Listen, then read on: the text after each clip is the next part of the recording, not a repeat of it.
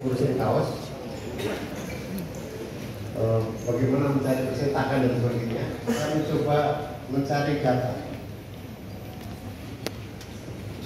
Ternyata saya tidak menemukan satu pun selama Indonesia merdeka sampai sampai hari ini. Ada seorang menteri yang mengundurkan diri untuk menjadi mengurus sepak bola. Itu pernah. Ada.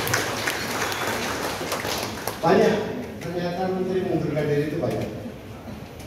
Pertama biasanya lima tahunan itu seorang menteri yang terpilih kembali menjadi anggota DPR RI atau DPD itu banyak. Yang kedua kebetulan juga ada dan Olahraga. Pernah ada seorang menteri yang mengundurkan diri tetapi bukan karena yang lain. Jadi inilah sejarah Republik Indonesia bahwa Menteri Pemuda dan Olahraga mengundurkan diri untuk mengurusi sepak bola. Luar biasa. Tepuk tangan kalau yang lain-lain itu mengundurkan diri biasanya karena, karena, karena kasus gitu. Dan kenapa hari ini saya sengaja untuk menyanyikan lagu uh, di awal-awal? Karena kita harus bergembira.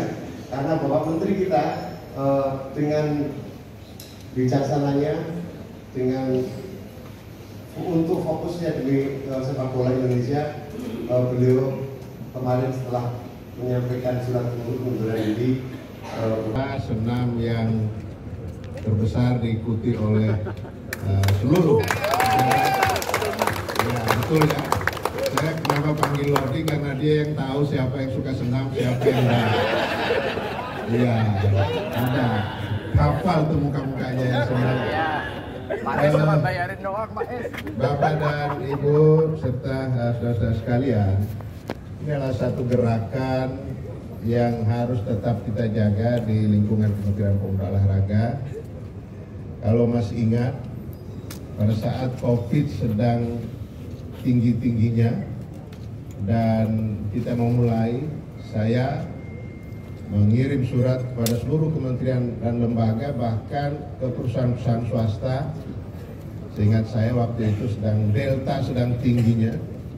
Walaupun covid pada saat itu masih sangat tinggi maka kita tetap anjurkan untuk berolahraga waktu itu ada senam sah ya uh, stay at home nah sekarang karena covidnya sudah mereda maka tidak boleh hilang semangat untuk berolahraga dan senam setiap hari Jumat.